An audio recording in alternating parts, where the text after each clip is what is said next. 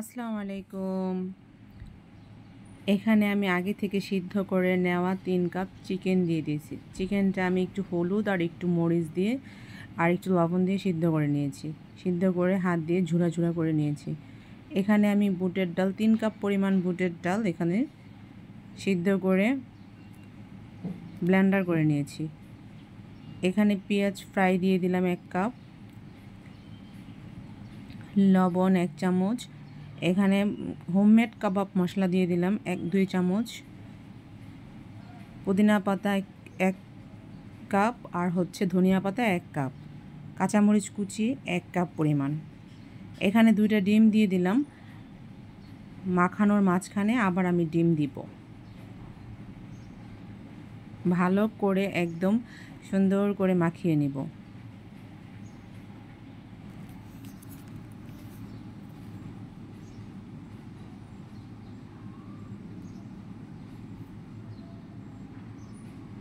Barbecue sauce এখানে আমি তিন চামচ পরিমাণ দিয়ে দিলাম।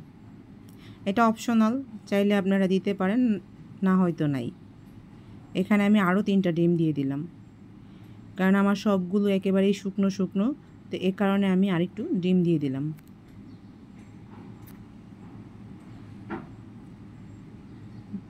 যার যেমনভাবে শেপ দরকার হয়, ঠিক সেইভাবেই শেপ দিয়ে নিব। আমি গোল গোল করে, একটু বড় করে শেপ দিয়ে নিলাম। চাইলে আপনারা ছোট ছোট করেও শেপ দিয়ে নিতে পারেন।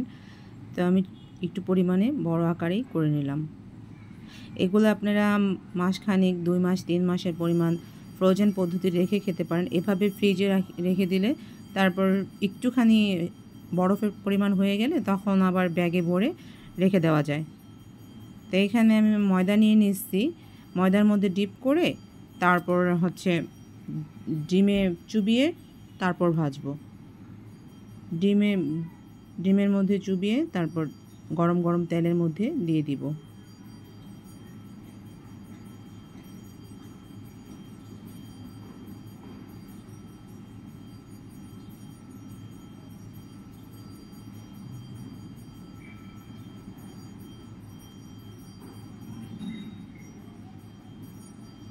উল্টে পাল্টে ব্রাউন কালার করে ভেজে নিব। হালকা আঁচে ভাজবো যাতে ভিতরটা কাঁচা না থেকে যায় আর ডিমটা পুড়ে না যায়।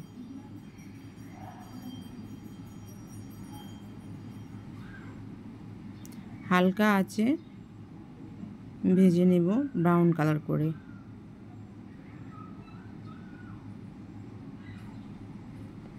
তো আমার অলমোস্ট ভাজা ডান তো আমি কাবাবগুলি উঠিয়ে নিব। এগুলো অবশ্য ভাতের সাথে, পোলাওর সাথে, এমনকি বিকেলবেলার নাস্তায় জু, সস দিয়ে খেতে খুবই মজাদার। চায়ের আড্ডায় এই কাবাবটা খেতে খুবই মজার।